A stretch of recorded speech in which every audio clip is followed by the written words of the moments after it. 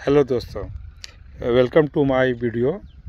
आज मैं आपको आम की दो महत्वपूर्ण वैरायटी मियाँ जाकी मैंगो एंड बनाना मैंगो के बारे में बताऊँगा।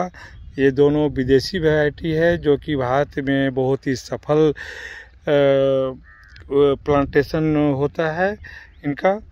और यह बहुत ही बहुत ही मशहूर वैरायटी है। एक जापान का है, एक थाईलैंड का है। जापान में यह बहुत ही महँगे महँगे रेट पर मिलता है। आप गूगल में सर्च कीजिए मियाँ जाकी मैंगो तब आपको पता चलेगा कि यह कितना महँगा आम है। यह खाने में उतने ही, उतना ही मीठा होता है, जो मैंने सुना है, मैंने कभी खाया नहीं है।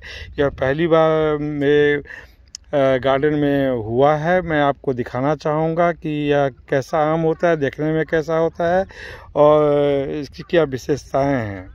आइए देखते हैं दोनों वीडियो के बारे में वन बाय वन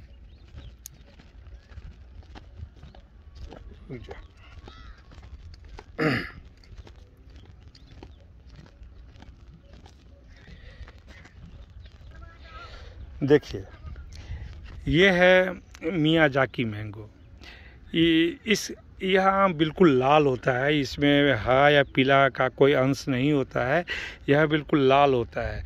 अगर धूप न पड़े तो थोड़ा सा हल्का गेनिश रह जाता है, जैसे कि यह है। ये इसमें धूप नहीं पड़ रहा है, जिसकी वजह से यह थोड़ा सा हरा कलर का है।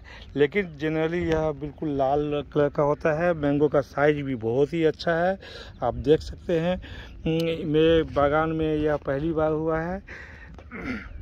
इस आम को मैंने कलकत्ता के एक नर्सरी, ग्रीनलैंड नर्सरी जिनको आदित्य मित्रा जी चलाते हैं, वहाँ से मैंने डेढ़ साल पहले ख़रीदा था और यह बहुत ही सफल प्लांटेशन है। मैंने देखा है, ये मुझे लग रहा था कि नहीं आएगा, लेकिन बहुत ही सफलतापूर्वक पहली बार ही, डेढ़ साल में ही इसने बहुत अच्छा फूट दिया है मुझे। आइए आपको दिखाते हैं एक और प्लांट के बारे में बनाना मैंगो जिसको मैंने वहीं से ग्रीनलैंड नर्सरी से ख़रीदा था। आप इनको ख़रीदना चाहते हैं तो आप ग्रीन लैंड नर्सरी के मालिक आदित्य मित्रा जी से कांटेक्ट कर सकते हैं। आइए, देखिए दिखाते हैं आपको। देखिए, ये है बनाना मैंगो